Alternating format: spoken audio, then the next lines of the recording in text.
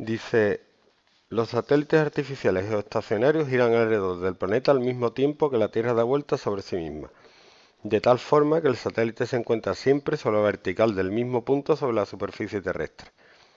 Y te dan G, que es 6,67 por 10 elevado a menos 11.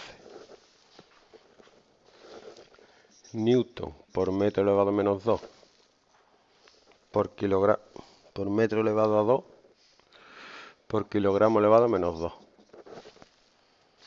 La masa de la Tierra, que es 6 por 10 elevado, por 10 elevado a 24 kilogramos. Y el radio de la Tierra, que son 6.400 kilómetros.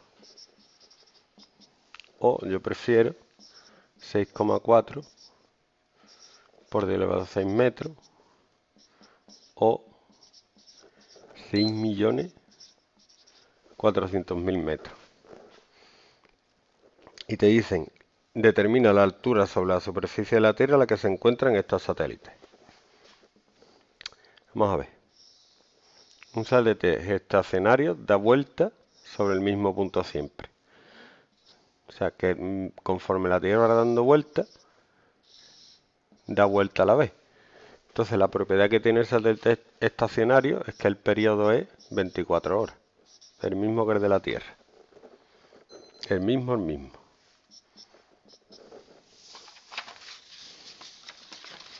Vamos a ponerlo en segundo.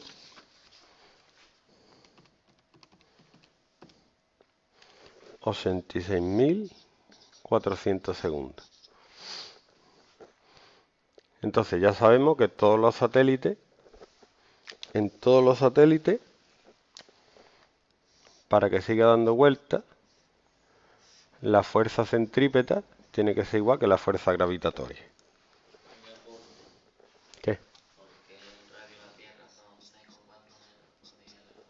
Porque es así. Esto a notación científica. Lo he puesto en metros y luego lo paso a notación científica. 1, 2, 3, 4, 5, 6.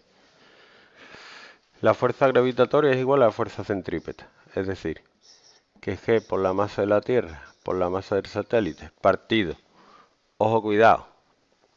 La distancia es la distancia del centro de la Tierra al satélite, ¿vale? No desde la superficie de la Tierra, sino desde el centro de la Tierra. Y la fuerza centrípeta es la masa del satélite por la velocidad lineal al cuadrado partido el radio. O mejor vamos a poner esta fórmula que es la velocidad angular ¿vale? la masa se simplifica la masa del satélite no influye y lo que quiero despejar es R ¿vale? entonces para despejar R paso R cuadrado aquí multiplicando me queda G por M igual a velocidad angular al cuadrado por el radio al cubo. Por tanto, el radio sería, el radio al cubo sería g por m partido la velocidad angular al cuadrado y el radio sería la raíz cúbica de g por m partido la velocidad angular al cuadrado. ¿Por qué he dejado la velocidad angular? Porque podemos calcular fácilmente la velocidad angular. Sería 2pi partido el periodo, que es este.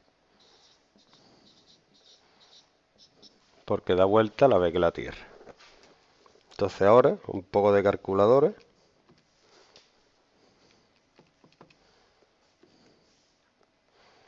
Esto da 7,27 por 10 elevado a menos 5.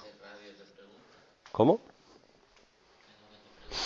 La distancia a la que tiene que estar para que sea un satélite geoestacionario. Si lo pongo más lejos, va a dar vuelta más lento. Y si lo pongo más cerca, va a ir más rápido. Para que dé vuelta justo a la eh, velocidad de la Tierra, lo tengo que poner en un punto especial.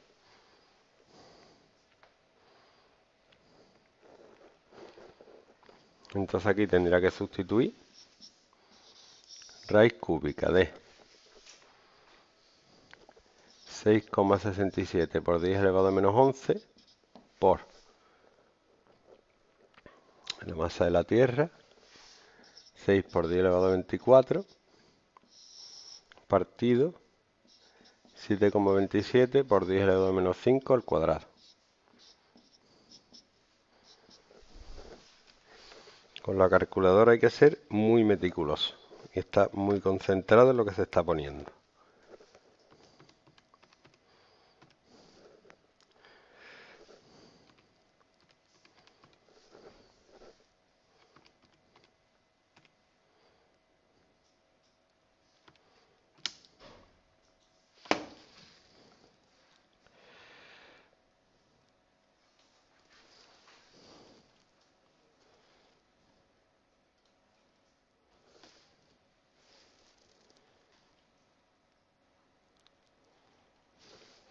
Y ahora hago la raíz cúbica de esto. Y me da 4, 2, 3 0, 6 076,87 metros. Ojo cuidado que esto es desde el centro de la Tierra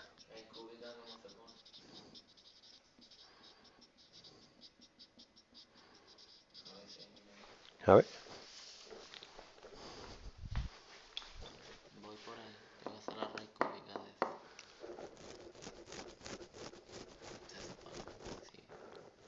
Si me diera esto estaría. No hay, aquí está, raíz cúbica.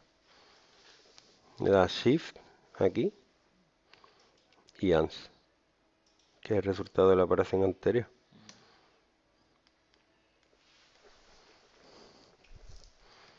Tiene que hacer la cuenta otra vez. ¿El qué? la cuenta es que no. Seguro me he equivocado en los exponentes. Tiene que hacer 6,67 exponente menos 11 por 6 exponente 24. Es que esto es al cuadrado. Y velocidad angular es al cuadrado.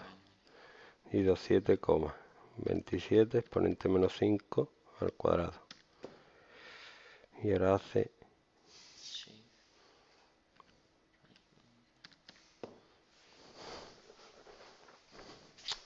Eso es desde el centro de la Tierra.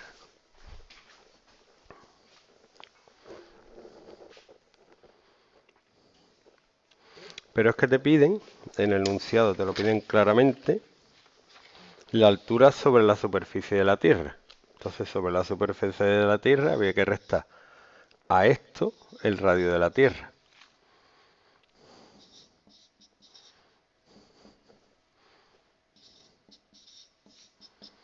menos el radio de la Tierra, que es 6 millones.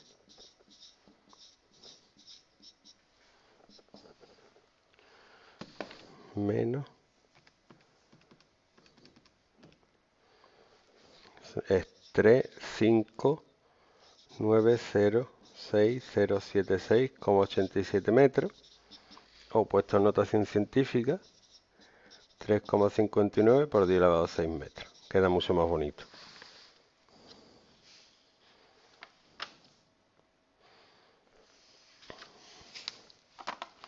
y te piden otra cosita en este ejercicio.